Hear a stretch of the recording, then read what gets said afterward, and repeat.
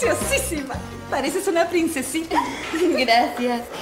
Ya nos vamos, creo que estamos con la hora. No, hay que esperar a que venga la limusina. ¿Limusina? Ay, Brenda, pobretito. Yo le dije que alquilara una carcochita nomás. Ay, tú no te preocupes. Él te ha preparado una sorpresita.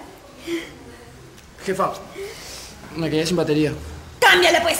¿Qué esperas? ¡Y apúrate, que ya viene por la novia! Ay, ¿dónde?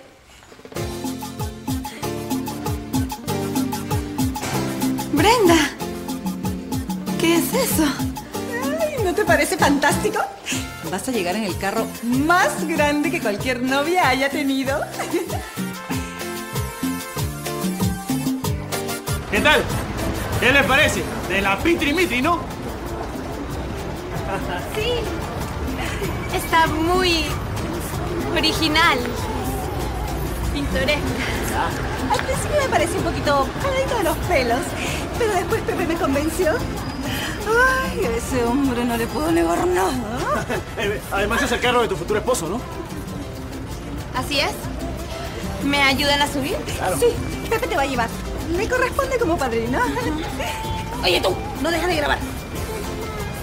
Me voy a casar en un ómnibus.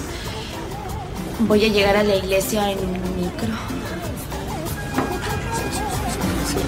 Ya, ya. Nos vamos, nos vamos, nos vamos. ¡Vámonos!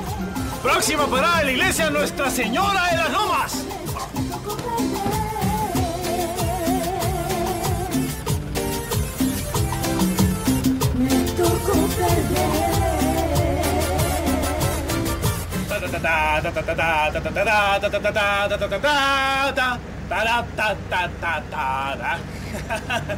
No pueden negar que esta es la limusina más original de todo Lima.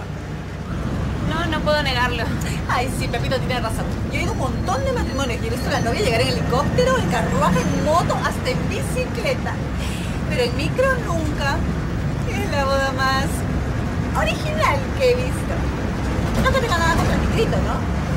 Pero cuando yo me case, me encantaría que sea un convertible descapotable y. recorrer la ciudad a toda velocidad con mi pelo al viento. Suena muy divertido. Pepito, apúrate que estamos tarde. Está bien que sea chica el novio espere, pero tampoco para tanto, ¿no? Ah, ¿Qué quieres que haga? ¿No puedo pasarme en la luz roja?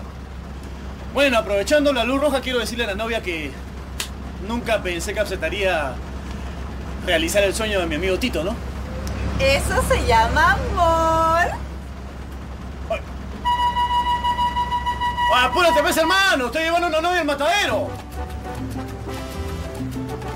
Ah, fue solo un chistecito nomás para animar la cosa.